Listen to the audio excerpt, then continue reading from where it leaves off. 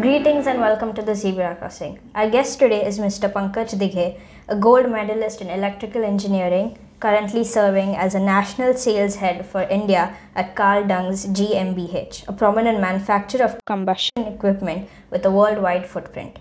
Previously, Mr. Dighe held the role of Global Key Accounts Manager at Honeywell International, overseeing the Asia Pacific region.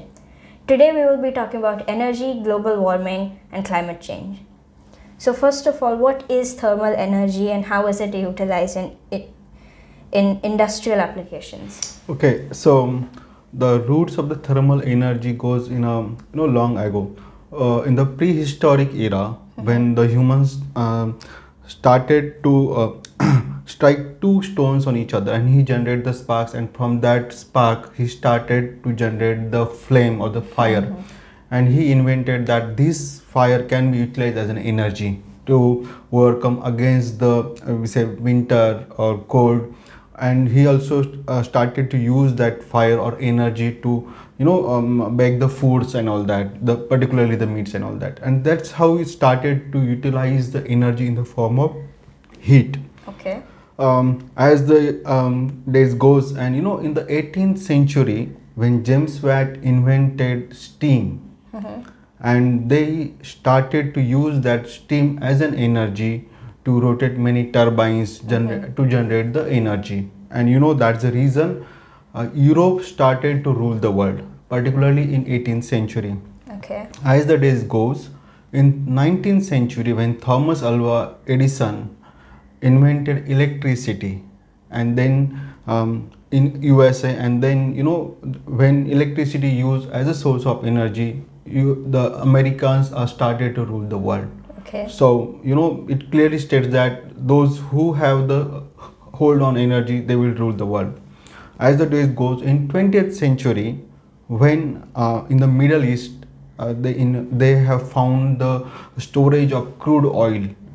And with the help of that the very uh, you know the undeveloped area of a middle east started grown very rapidly because the crude oil is crude oil is the need of the complete world right now. Everything is uh, working on the the uh, energy produced from the crude oil. Uh, you know from the refine uh, from the refineries once you process the crude oil uh, different by products are separated. Like Yes. um, furnace oil or um, high viscosity oil and then you have the diesel petrol uh, kerosene and then you also have the uh, lpg which is a mixture of propane and butane. And you know all these fuels are the source of energy. So this is how the um, uh, different uh, eras uh, and different uh, regions have developed with the help of this source of energies. Okay. Can you tell us how energy has revolutionized the world over the past few centuries? so as i just explained that the initially with the help of steam they have developed many you know turbines and engines which runs on the steam. For example they uh, run the railways on this with the help of this steam. Once electricity developed then they use the electricity and now with the help of crude oil. So and in the you know in the recent days not um, so early but uh, um, methane or say natural gas is the main source of energy Okay. for the complete goal. So the energy transmit uh, energy source transforms from uh, uh, from say electrical uh, operated equipment to diesel or liquid uh, solid fire equipments to diesel fire equipments. Now it's a gas fire equipments. So this is how it's transformed from last few eras. Initially in the old era people use solid fuel for example you know wood coal. So these are the form of a solid fuel. So they use this solid fuel to generate the energy. Then liquid fuels diesel particularly or furnace oil or petrol or kerosene. And then lpg and nowadays uh, people are using natural gas to generate the heat or the energy. Okay, so as the types of energies that we're consuming has changed, has the demand for it also changed? Yeah, of course.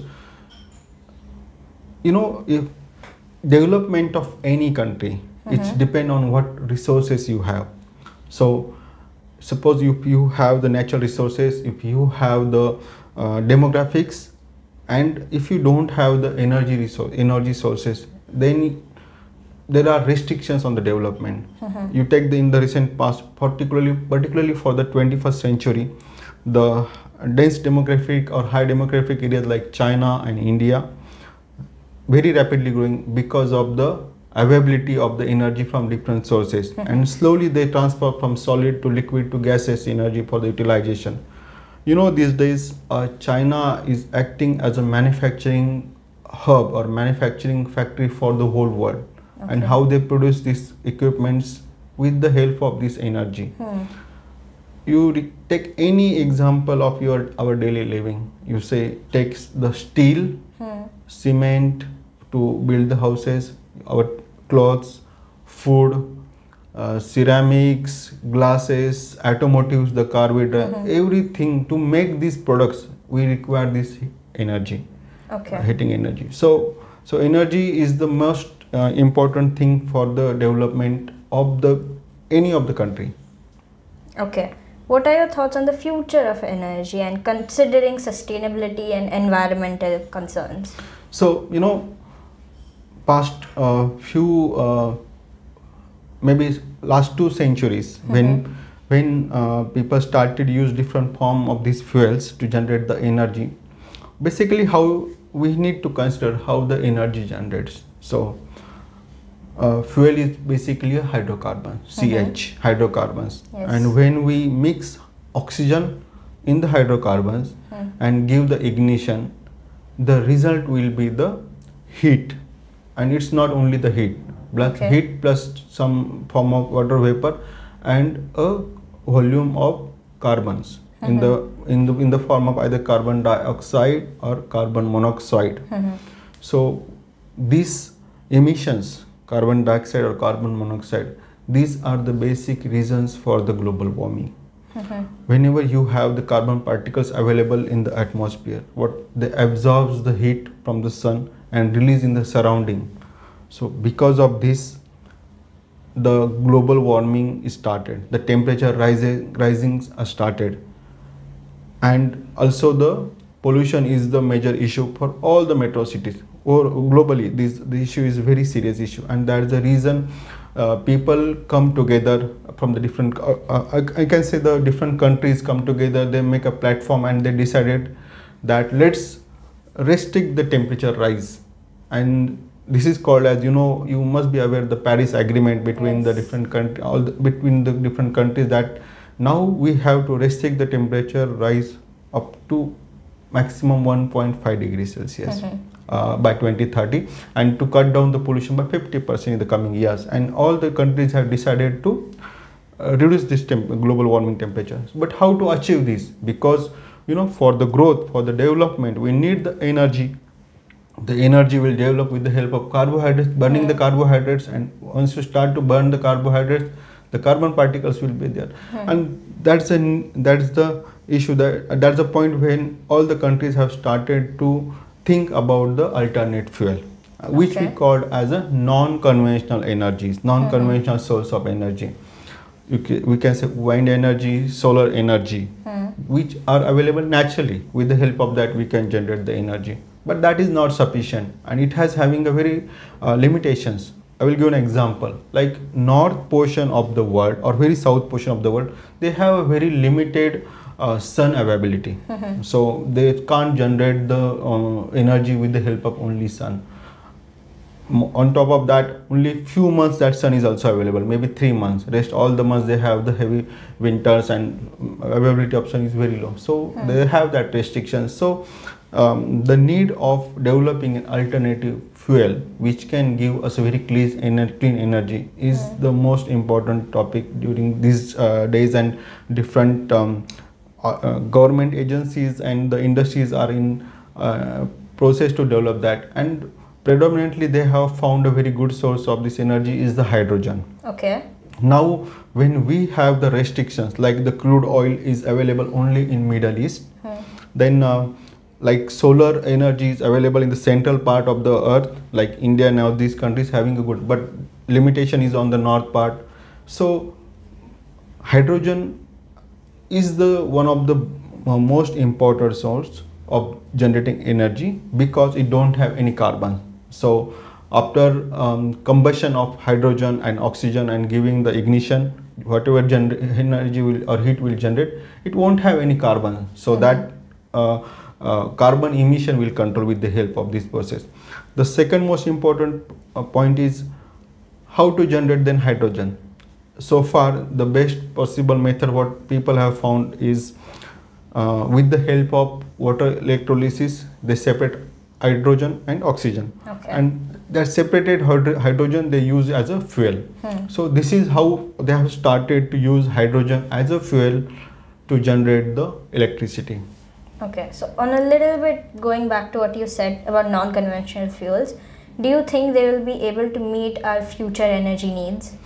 yeah of course uh, we we have we don't have an option if we want to you know um, take out take this uh, environment or the earth similar as we have today to our next generation. We have to protect it. And that will be only possible if we control the temperature rise and the pollution. Hmm.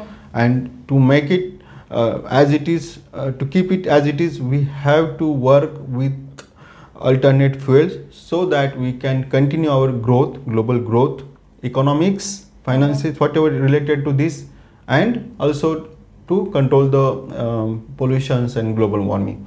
So non-conventional sources we have the wind energy solar energy uh, geothermal energy tidal energy there are many forms but of course it is having all the limitations. The need of the uh, of earth for the energy is very huge.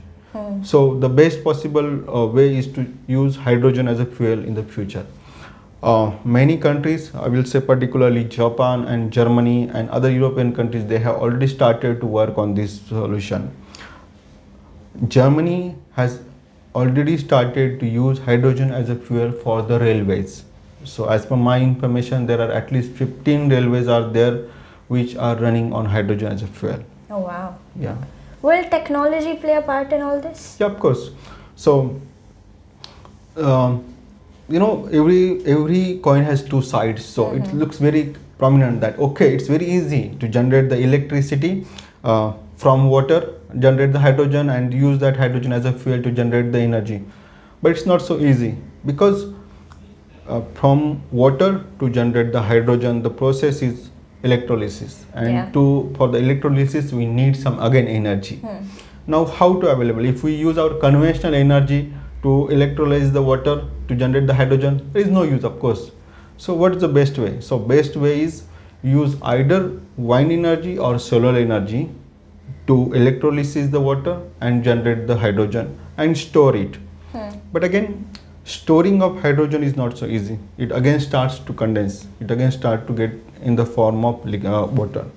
So it is having that limitation. Of course technology is plays an important role that how um, how we can electrolyze and store the hydrogen and use as a fuel for the different industrial applications like boilers or ovens baking ovens uh, fryers and incineration different processes are there Let's talk about hydrogen as a fuel. uh, What potential do you see for hydrogen in the energy sector? So when um, when the global giants decided to work on the alternate fuel, and the, of course to um, the main agenda is to reduce the global warming to control the rising temperature. So one of two major areas are there where from where this pollution and global warming comes. One is the vehicle. You know all the vehicles are working either on uh, running either on diesel, petrol, gasoline, or some gases, and all the industries who burning the fuel to generate the heat. Hmm. So these are the two permanent areas. So any, there are two ways. Either run the vehicles on electricity. We call it as EV, which is a very popular norm nowadays. Most of the people they are looking forward to have electric vehicles. Once you uh, charge it, it can run up to 500 or 600 kilometers uh, uh, in a single charge, and that could be a solution to control the emissions. But again, to charge the vehicle you need some energy or electricity which can be generated either from the conventional fuels we want to avoid it and that's the reason hydrogen which is now called as a very clean fuel comes in a picture as i've just mentioned that um, germany has already started to use hydrogen as a fuel for the railways and I heard that in coming days there will be a railway on in India which will be run on hydrogen as a fuel. So now how to utilize hydrogen as a fuel? Of course for the automotive they design the cars Uh-huh. or trucks which can run on hydrogen uh-huh. and at the same time we can use the hydrogen as a fuel in the different industries to run the boilers or ovens or furnaces to process the steel and all that. Hmm. So these are the two prominent areas where we can use the hydrogen. Okay. Now every fuel has its you know characteristics like they have the calorific values and densities and all the fuels have different characteristics like natural gas have different lpg have different hydrogen have different. By the time we have already have the infrastructure for the natural gases or the lpgs because lpg can be transport transport from one place to another in the form of liquid and with the vaporizer we can convert it into gas and utilize it. Hmm. Same way the natural gas like in the middle east ample quantity of natural gas is available we transport it from middle east to the rest of the world in the form of liquid Okay. which is called as lng okay? Then it vaporizes and make it compress and again shipped from say port to the um, um, uh, buildings or industry. And then from there compressed it can convert to pipe natural gas and utilize it. Okay. But that is not the case with hydrogen. We cannot transfer right now we cannot transfer from hydrogen at one place to other place. And then because of its characteristics we cannot use the same infrastructure what we have built for natural gas for the hydrogen. So what the solution? And we have a very uh, excellent solution found by our uh, technicians or scientists that let's utilize the hydrogen with mixing with natural gas. Hmm. and use the existing grid which we have designed for natural gas Okay. okay so what they have they generate the hydrogen with the help of electrolysis of water sun energy electrolysis generate the hydrogen and mix in the natural gas pipeline Hmm. so what they have decided let the ratio will be 80% of natural gas 20% of hydrogen and they can use that mixture or that with the same grid what we have designed right now for the natural gas and with that grid this mixed gas we don't need to be any change in our existing system. Okay. almost 20% hydrogen 80% natural gas. The properties are similar uh, to the pre-designed system. So this is the best way. So japan have started this. Germany is going to start it.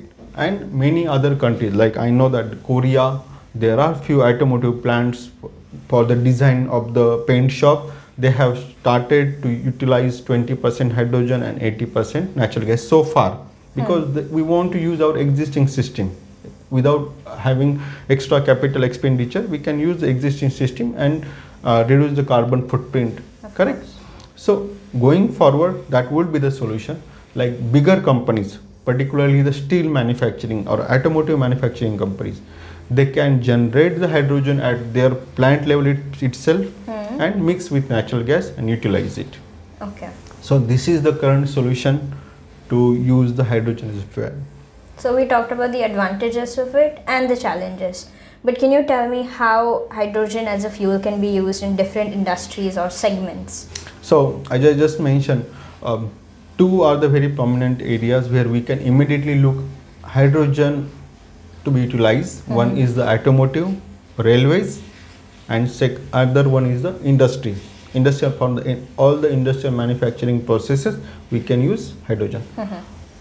In the automotive, we can use hydrogen as a fuel. So we need to uh, develop the engines which are suitable for hydrogen as a fuel. So I know that I think Toyota is already working on it and BMW, many other, particularly German and Japanese, both automotive makers are they are very advanced stage uh, to develop the engines for the hydrogen. Third one is the um, railways.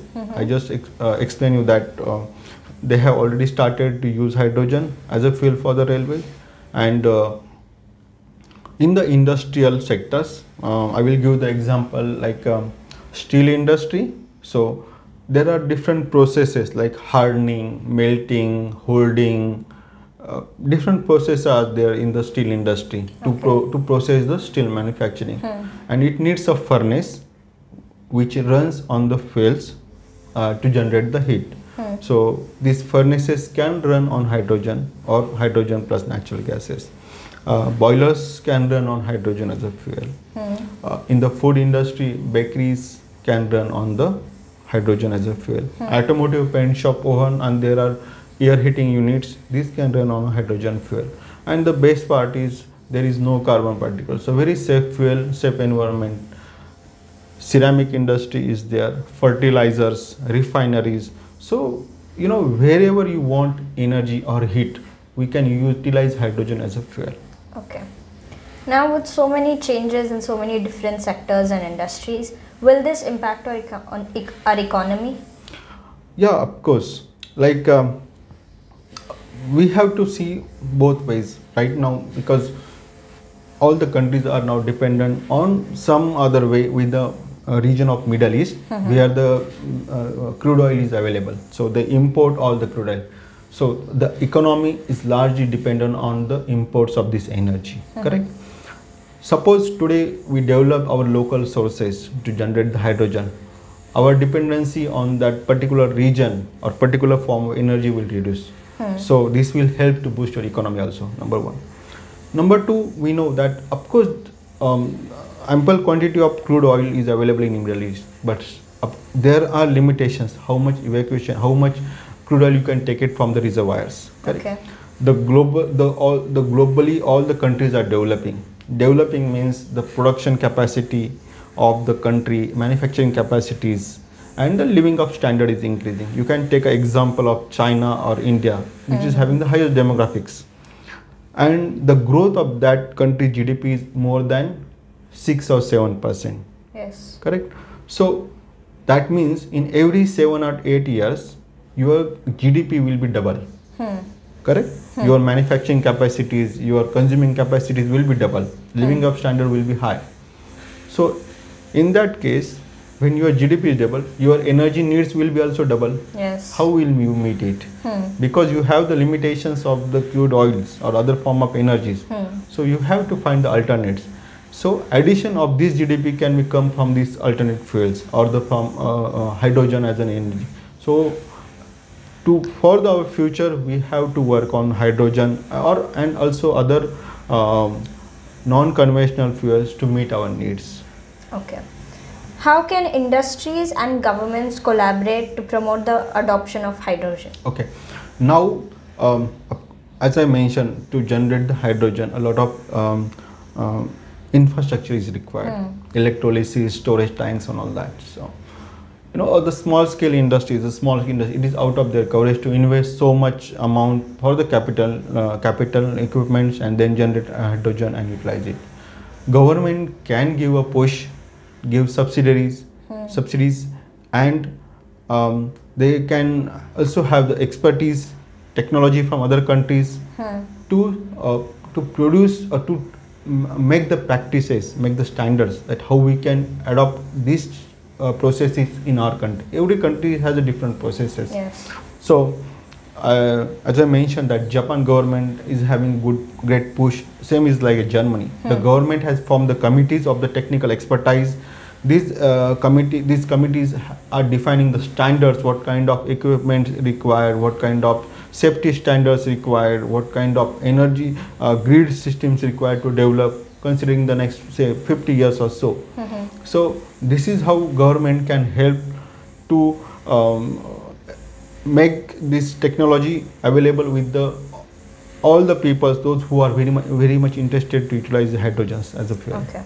What role do you think investments and funding play in driving this innovation? um, capital investment is high for Yes. at this moment at this moment. Because still the uh, inventions or the developments are stage are a very early stage. And you know uh, research and development requires a fund. Correct? So of course all the investments and uh, capital requirement finances uh, will require for these uh, inventions. So far i know that uh, many industrialists uh, or bigger institutions they came forward and uh, they are working very rapidly very sincerely on uh, these kind of uh, non-conventional energy sources um, I know that uh, few uh, industries from India they are working very seriously. Reliance is there, Adani Ports, Adani is there. They are working very um, uh, sincerely and with a high funding to de- develop the sources and the processes for the hydrogen and other non-conventional Mhm. fuels because that's the that's the future. That is the need of the future. Okay. So apart from investing, what can businesses and individuals like myself or our audience, what can we do to promote the sustainable future? So this is this is the requirement for our generation or the next generation because Mhm. we want to pass this this earth as it is to our next generation. Yes. Climate change, global warming, we have to control it. We don't Yeah. have an option. At the same time, we want to keep our growth pace also. Hmm. So the next generation they can work on the developments, particularly non-conventional fuel developments. Everyone, the responsibility not lies with only government or big industries. It lies with everyone. Hmm. You know how we can utilize non-conventional sources like solar energy. It's not difficult to utilize solar energy or at home also. Hmm. There are you know solar cooker are available to Yes. cook the food. You know so many this kind of um, equi- equipments we can start there are small uh, solar fans are available now Hmm. when uh, people come together every society can have the solar panel on their rooftop and they can use that solar energy for the you know the uh, evening lights or uh, the smaller needs of the society smaller heat pumps they can run on this Hmm. solar energy so if people come together you know the particularly the next generation who is techno savvy they know how to utilize these resources.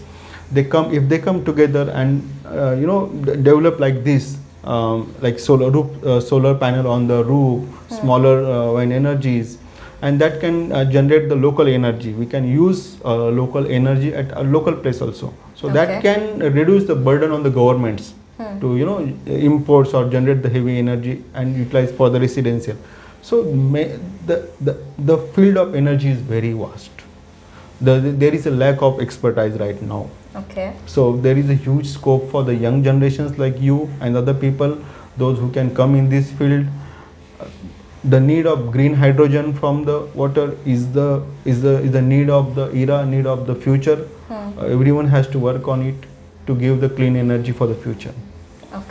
What advice would you give to individuals who are trying to pursue a career in this industry?